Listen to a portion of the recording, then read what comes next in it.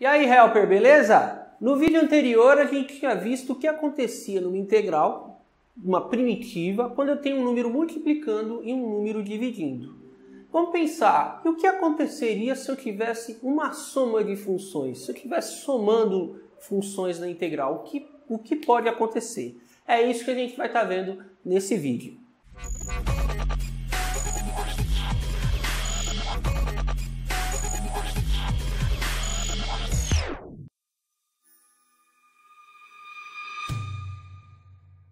Então, ó, eu tenho uma função que é o seguinte, ó, tem uma integral que é a seguinte, integral de x a quinta sobre 6 menos e elevado a x dx. O que acontece quando eu tenho uma integral que tem uma subtração, por exemplo? Sabe o que vai acontecer? Isso aqui é exatamente a mesma coisa de eu escrever isso aqui, ó x quinta, integral de x a quinta sobre 6 dx menos integral de e elevado a x dx. Eu fiz uma distributiva aqui, ó.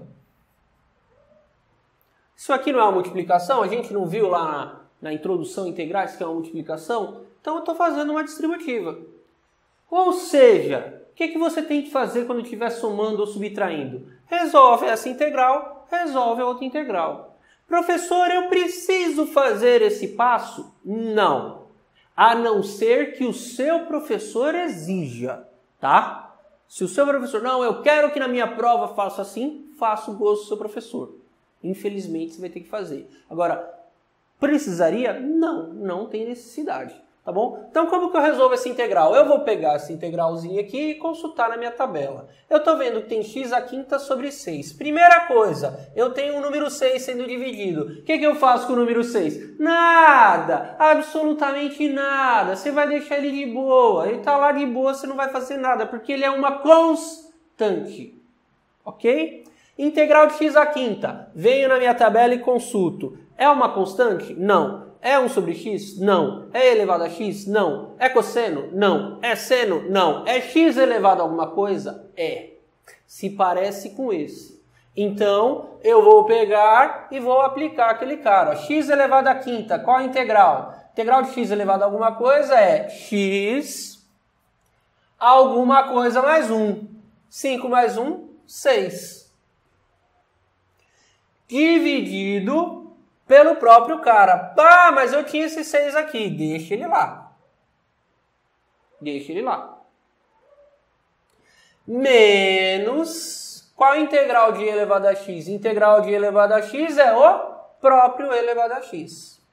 Isso vai dar quanto? x a sexta sobre 6 vezes 6, 36. Menos elevado a x mais uma constante. Por quê? Porque essa integral é uma integral indefinida. Ok? Beleza. Vamos para o próximo. Agora tem a seguinte integral. Integral de 5 sobre x mais cosseno de x sobre 10 dx. Eu tenho uma soma. E o que acontece quando eu tenho uma soma de funções de uma integral? A mesma coisa que acontece na subtração. A mesma coisa. Eu vou pegar isso aqui ó, e vou distribuir. Eu posso escrever então que isso é a mesma coisa que 5 sobre x dx mais integral de cosseno de x sobre 10 dx. Tenho duas integrais que têm que ser resolvidas. Resolvo uma, resolvo a outra. Pronto, acabou. Sem dificuldades. Tá ok? Então, ó, como que eu resolvo essa integral?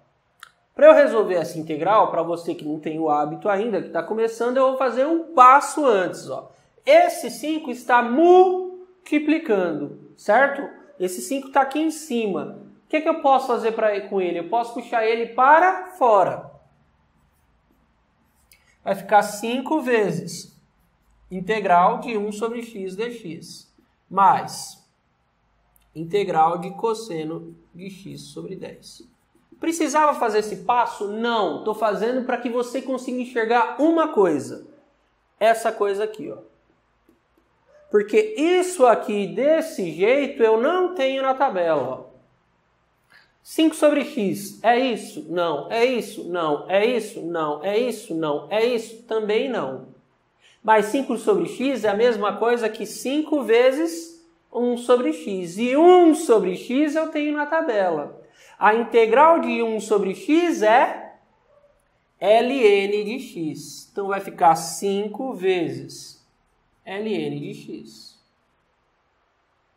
Mais cosseno de x sobre 10. Qual é a integral de cosseno de x? Cosseno de x menos seno de x.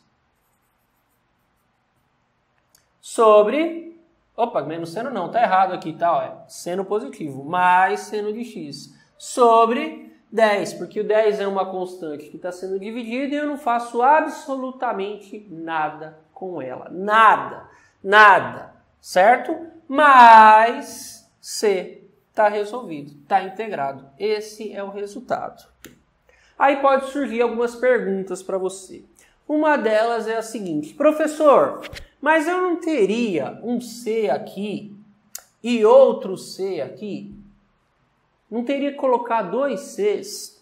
Entenda o que é esse C. Esse C é uma constante. Uma constante que eu não sei o valor. Eu desconheço o valor dessa constante. Eu não tenho ideia de esse valor. Pode ser 5, pode ser 10, pode ser π, tá? Mas eu não sei. Como eu não sei, eu coloco uma letra C. Agora, quando eu somo uma constante com outra constante, o resultado vai ser uma constante.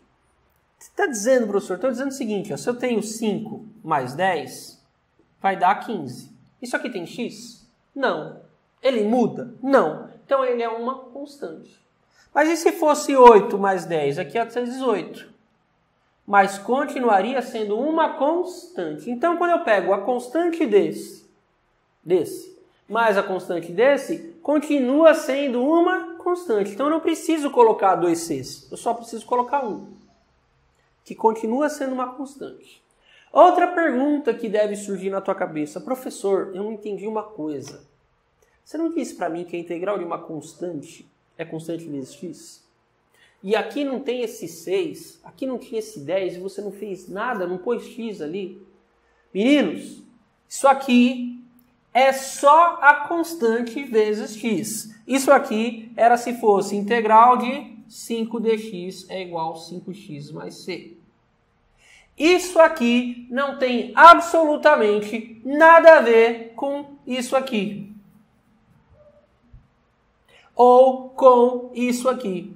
5 vezes x. Não tem absolutamente nada a ver. Isso aqui é uma constante, não tem x envolvido. Aqui tem x envolvido. Então esquece esse cara.